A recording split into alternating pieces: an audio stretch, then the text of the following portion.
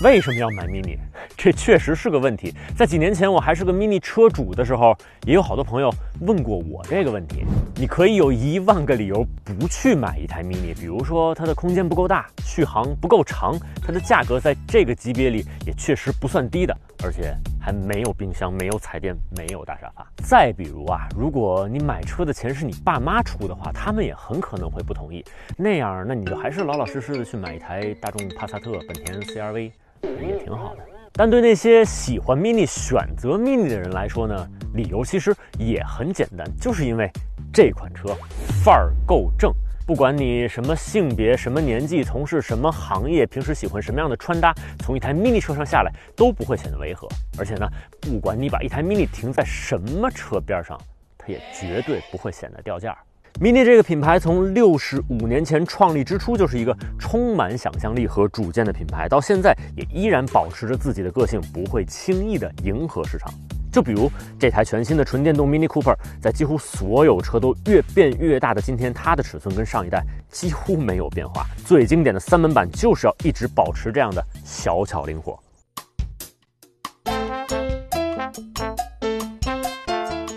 在许多汽车品牌会把中控屏幕越做越大，甚至会直接把一块平板塞在前面的时候，你会发现 Mini 依然保持着它六十五年前初代车型的圆形中控屏的设计。当然，现在这块屏幕已经变成了一块 OLED 的可触控屏幕。当然，还有像车里面大量的环保的可再生材质，还有方向盘上这根绑带，你确实很难在其他任何一个品牌的车型上见到这些不走寻常路的细节。网友对这样的设计当然会是褒贬不一的。我相信啊，Mini 的设计师其实早就已经习惯了，因为之前每一代 Mini 刚推出的时候，也一定会听到各种不同的声音。就像大家每看到新一代保时捷的911推出的时候，也会说啊，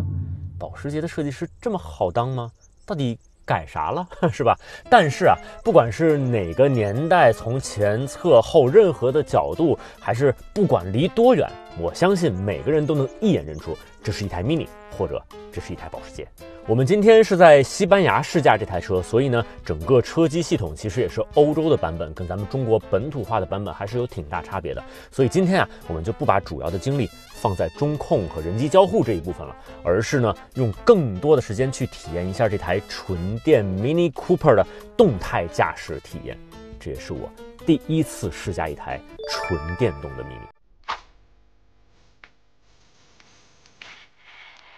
其实这两年我一直有想法再收一台 mini，刚好呢，今年 mini 又接连推出了我们之前刚刚试驾过的燃油版本的 mini Countryman JCW，还有今天正在试驾这个三门版本的纯电的 mini Cooper，包括接下来还会有一款五门的跨界车，同样也是纯电的 mini Aceman。哇，我真的有点选择困难了。每一款车都有自己的特色，Countryman 毫无疑问是空间最大的，而且呢还是最强性能的 JCW 的版本。而 Mini Aceman 呢，在我看来是几款车里面设计最有个性、最漂亮的，而且因为第二排有车门，所以实用性也还不错。但是今天这台 Summer 的 Mini Cooper，它就一定是所有车款里面永远最纯粹、最经典的那个。开着今天这台试驾车，从刚才起步的第一脚油。呃，准确的说，应该是第一脚垫，那种多年以前开着一台 Mini 在北京的环路上闪转腾挪的感觉啊，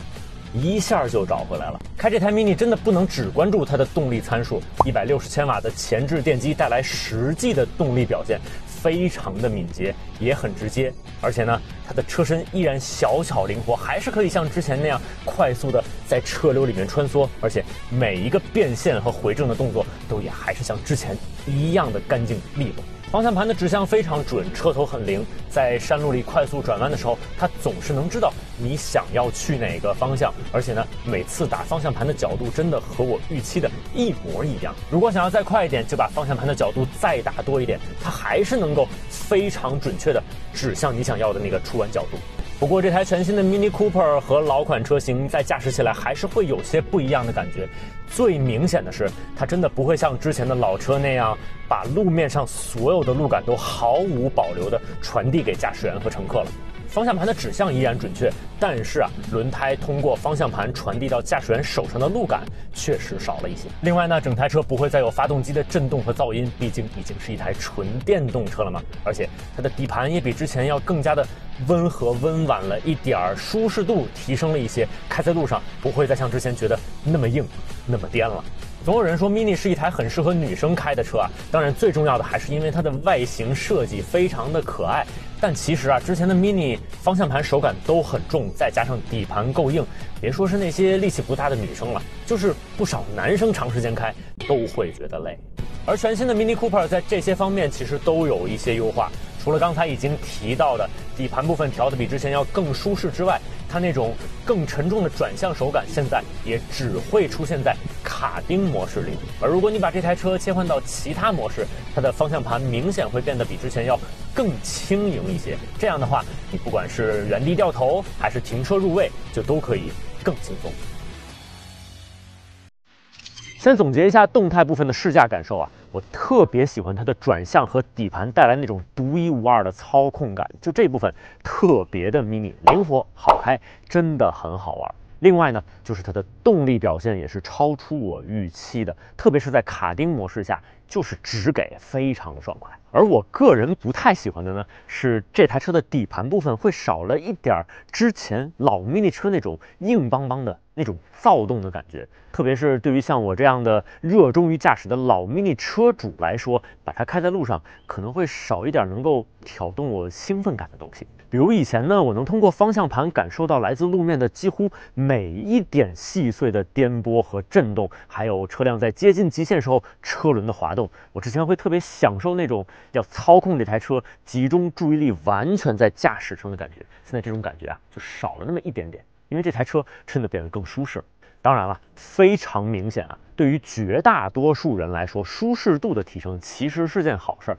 这也相当于补齐了之前很多人吐槽的 Mini 底盘太硬的这个短板。尤其是对那些更多的人没有经常开老 Mini、不是老 Mini 车主的人来说，那他们没有对比，也就感受不到刚才我说出来的这一点点的差别。反而呢，他们还是能很轻易的从这台车上找到那种转向非常精准、车头很灵活的特别专属于 Mini 的驾驶感觉。尤其是只要你开过其他的车，我相信你一下就能体验出来。再来说说续航，那其实这部分我个人不是那么关注，但是我知道有很多中国的网友肯定是想要了解的。那这台车在中国上市之后啊，全系应该都会搭载五十四千瓦时的电池，CLTC 的续航可以达到四百五十六公里。就像今天节目刚开始的时候我说的，这个续航的数字放在现在中国的新能源汽车市场上，肯定不像各位的腰椎间盘那么突出。但像我的话，因为家里还有其他的油车可以用来跑长途，所以我买一台 mini 主要还是为了日常代步，最多呢周末的时候出去耍一耍。所以啊，这样的续航表现对我这样的用车场景来说就完全没问题。所以现在我要纠结的呀，只剩最后一个问题了：到底是我身边这个最经典的三门版的 Mini Cooper 呢，还是接下来才会再推出的那个后排也有两个车门，可能用起来会更方便一点，我觉得也会更好看一点的那个？你们版的 Mini Ace 们？要么节目下方评论区，大家帮我出出主意呗。